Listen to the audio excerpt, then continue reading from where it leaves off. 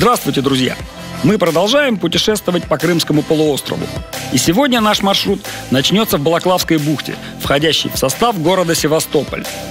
Как я и обещал в предыдущем выпуске, мы посетим очень интересный объект, который относительно недавно был закрыт, надежно охраняем и даже засекречен –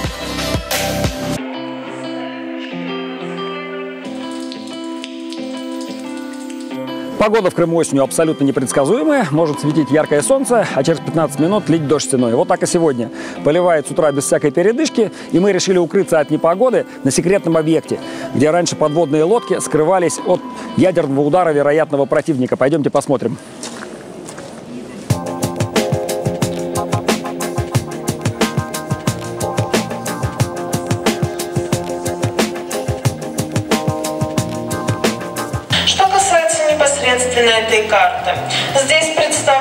Все подземные объекты на территории города. Красными лампочками обозначены те, которые были сделаны руками человека. Желтые – это естественные полости и подземные города.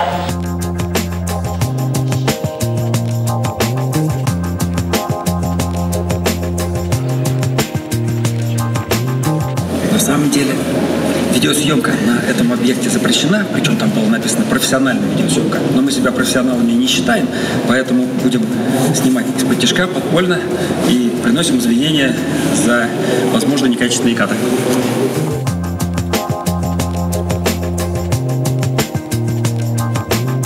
Комплекс для укрытия и ремонта подводных лодок объединял в себе два объекта.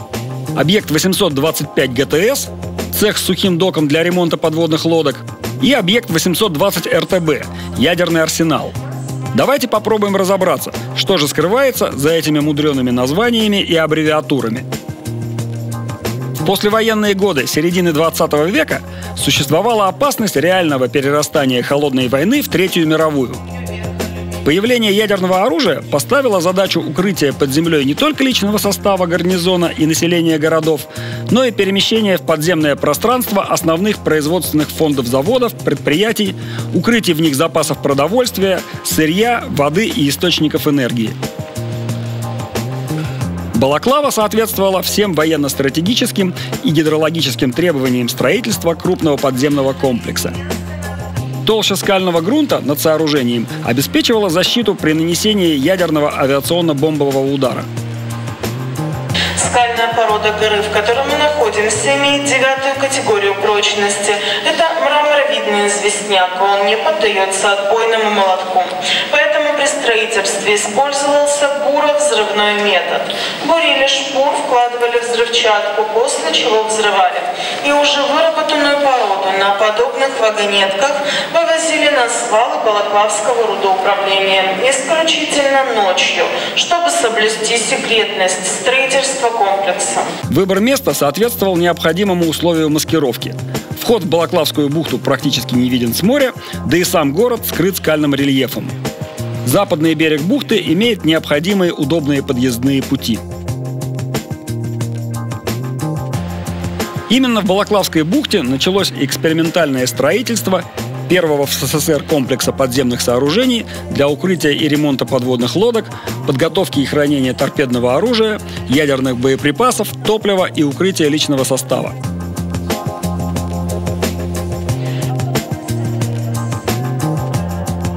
Соответствии с проектом, противоатомный подземный комплекс состоял из нескольких автономных объектов. Укрытие для подводных лодок и экипажей, специальный цех судоремонтного завода с сухим доком, минно-торпедная часть, предназначенная для приготовления и проверки торпед, ремонтно-техническая база для хранения и подготовки к эксплуатации ядерных боеприпасов и топливное хранилище емкостью 9,5 тысяч тонн. Объем скальной выработки составлял 200 тысяч кубометров. Таким образом, в скальной толще западного берега бухты был сооружен глубоководный 600-метровый канал и 100-метровый сухой док, в который могла войти подводная лодка. Толщина стен составляет от 1 до 5 метров железобетона. Глубина залегания комплекса 126 метров. Степень прочности позволяла выдержать прямое попадание ядерного заряда мощностью до 100 килотонн, то есть в 5-7 раз мощнее бомбы, сброшенной на Хиросиму. Завод строился поэтапно – По окончании строительства вся документация была изъята органами госбезопасности. Строительство завода завершилось в 1961 году.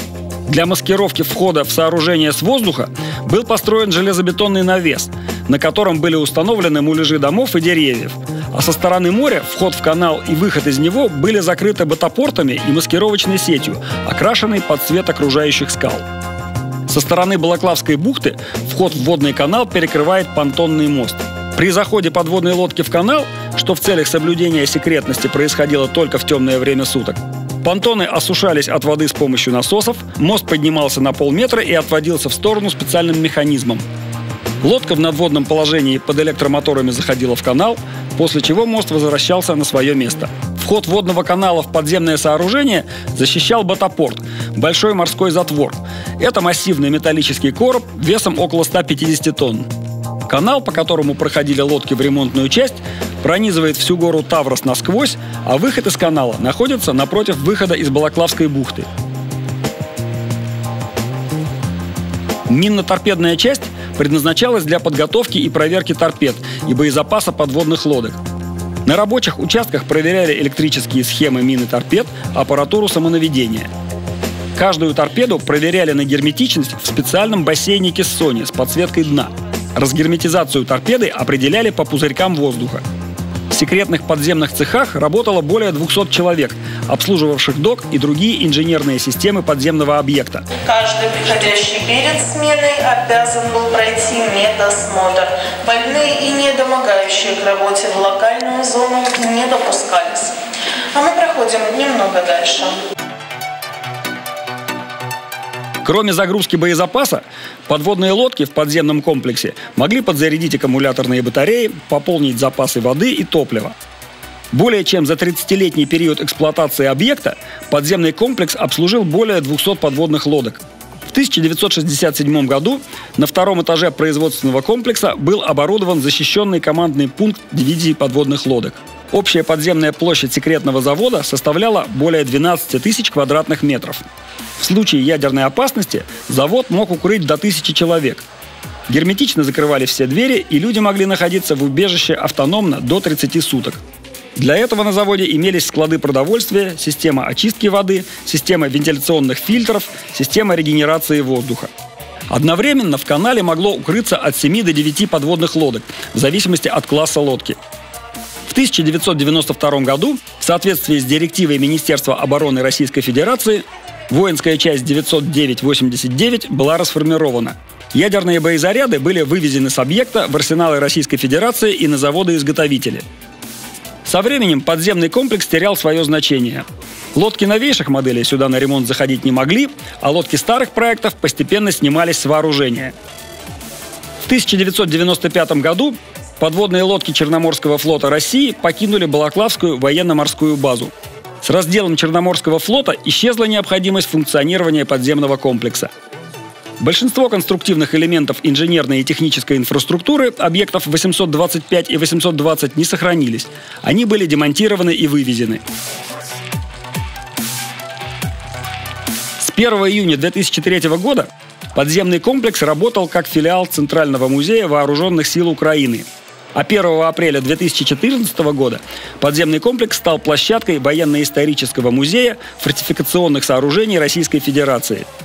Ну вот, за время часового блуждания по подземным лабиринтам погода наверху вроде бы налаживается, и мы двигаемся дальше.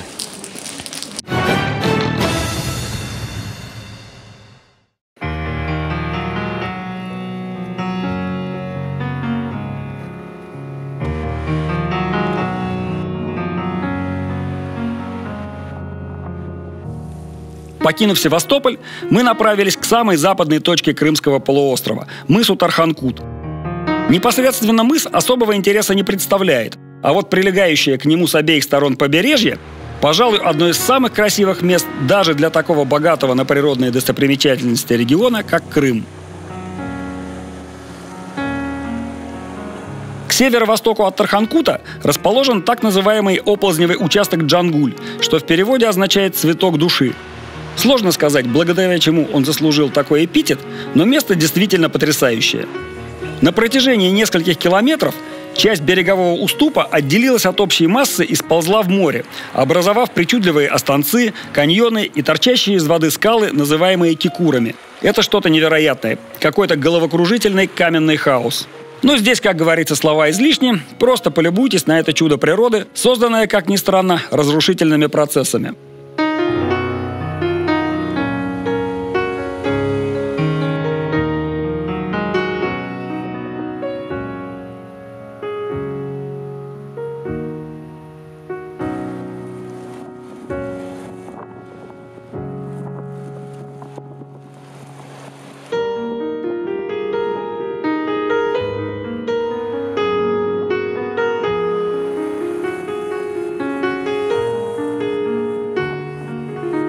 По другую сторону от мыса Тарханкут, а если точнее к юго-востоку от него, расположено не менее живописное урочище Атлеш.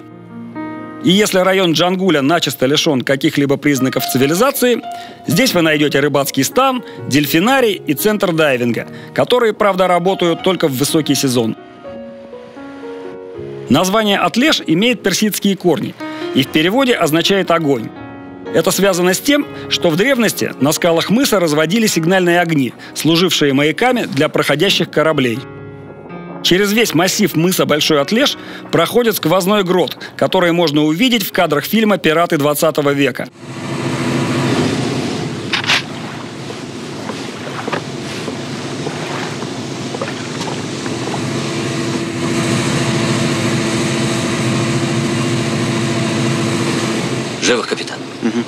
И раз уж тему кино, снятого в Крыму, обойти невозможно, посетим еще одно занимательное место, неоднократно засветившееся на киноэкранах.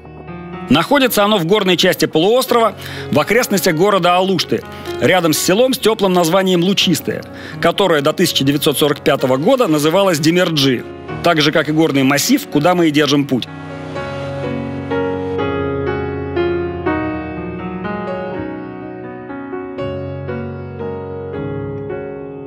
Название массива Демерджи с тюркских языков можно перевести как «кузнечная гора» или «кузница». Местные жители окрестили так его за то, что очень часто на склонах появляются вот такие вот облака, как сейчас, и гора как будто бы дымится.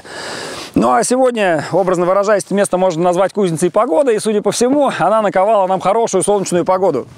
Воспользуюсь случаем, поднимемся на склоны горы, где находится одно из самых красивых и интересных мест горного Крыма, так называемая долина привидений. Посмотрим, что за духи там обитают. Склоны горы Южная Демерджи, украшенные многочисленными каменными изваяниями работы самого искусного скульптора природы, можно увидеть в сценах таких известных фильмов, как «Кавказская пленница», «Сердца трех» и «Спорт Лото-82». Я шел из мангала и заблудился. Три дня не жрам, э, без пищи. Именно здесь молодая Наталья Варлей в роли Нины осваивала навыки скалолазания. А огненные глаза, приводившие в трепет героев Сергея Жигунова и Владимира Шевелькова, сверкали на одном из сотен скальных останцев долины привидений. Даже боюсь себе представить, чьи привидения бродят здесь по ночам. И уж не знаю, корректно ли показывать такое в телеэфире, но все это создано природой, а за ее творение ни мы, ни наш телеканал ответственности не несет. Так что, как говорится, обратитесь к разработчику.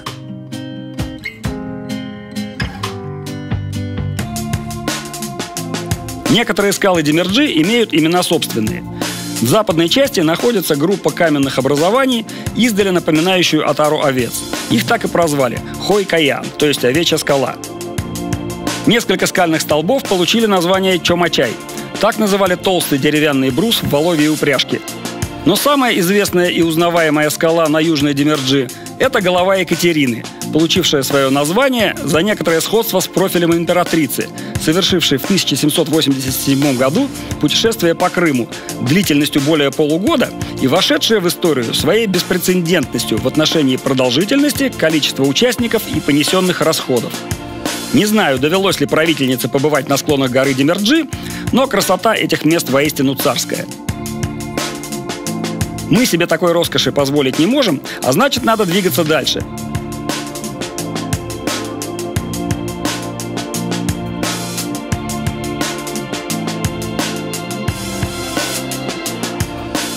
Концентрация достопримечательностей в Крыму просто зашкаливающая. Здесь же неподалеку на восточных склонах горы, покрытых густым лесом, спрятался один из крупнейших водопадов полуострова под двойным именем Джур-Джур.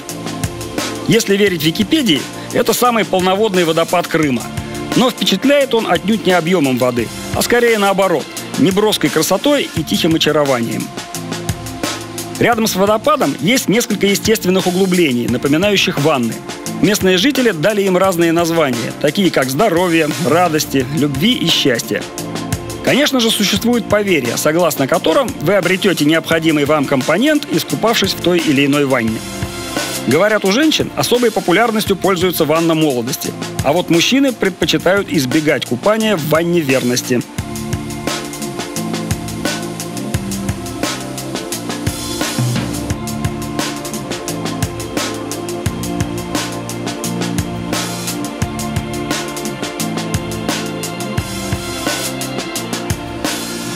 Для того, чтобы попасть с побережья Черного моря на Азовское или наоборот, Крыму достаточно получаса. Вроде бы только что перед глазами были заснеженные вершины гор, что в октябре здесь бывает крайне редко. И вот мы уже едем по дороге через степи Керченского полуострова в заповедник на мысе Казантип –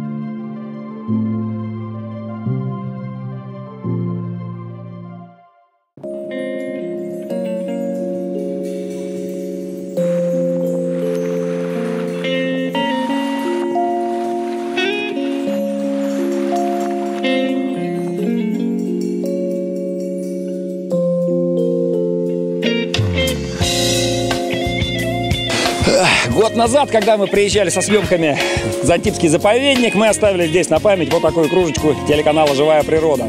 И сегодня, год спустя, выпить утром чайку из этой кружечки вдвойне приятно.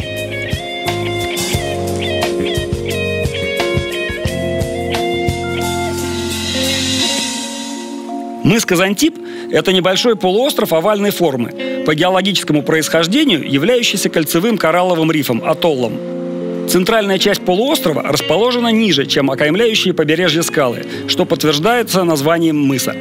Казантип в переводе с тюркских языков означает «дно котла». Береговая линия состоит из множества уютных живописных бухточек, разделенных скальными мысами, на которых гнездится бесчисленное количество морских птиц.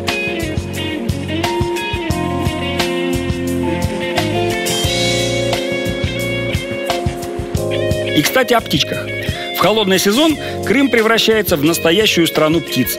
Они здесь буквально повсюду. На море, в прибрежных озерах и лиманах, в небольших прудах и даже на обочинах автодорог.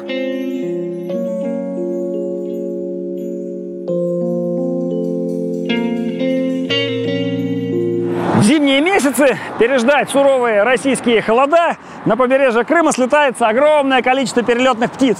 И вот здесь, на небольшом озере, в окрестностях Евпатории, Водится множество уток, лысух и даже лебедей, которых можно кормить прямо с руки. Но иди ко мне, мой хороший. Но, не щипайся так сильно.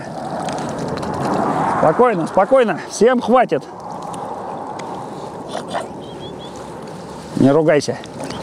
Да что ты? Больно щипаются.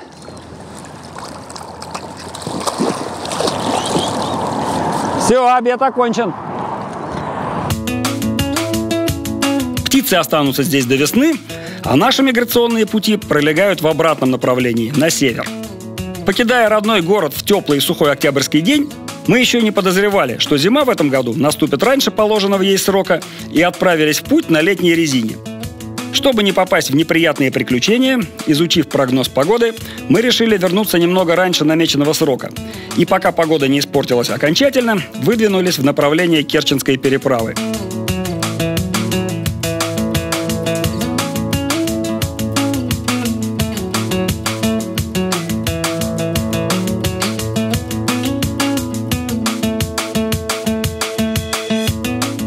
Соединяющие берега Керченского пролива, обещают построить через два года, в 2018 году. И пока приходится переправляться по старинке на паромной переправе. Но прелесть в том, что сейчас в ноябре, в низкий сезон, вся эта процедура занимает не более часа. А контур строящего моста уже хорошо видны по всей линии горизонта.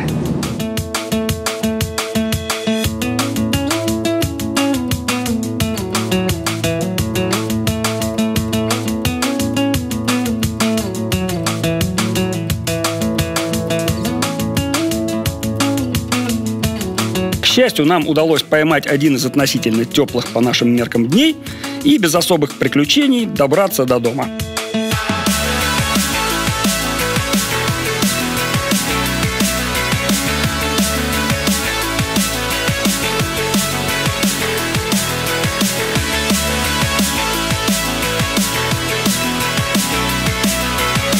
Ну вот, мы почти добрались до родной земли. Бррр, как же здесь холодно и хорошо. Точнее, мы еще находимся на территории Республики Татарстан. От Башкирии нас отделяет река Ик. Это такая своеобразная линия перемены дат. Как только мы окажемся на том берегу, мы сменяем часовой пояс, и к нашему времени добавляется еще плюс 2 часа. Примерно столько же нам нужно, чтобы добраться до дома. Это при хороших дорожных условиях. А вы оставайтесь с нами, смотрите нашу программу, ведь самое интересное всегда ждет нас за порогом. До новых встреч!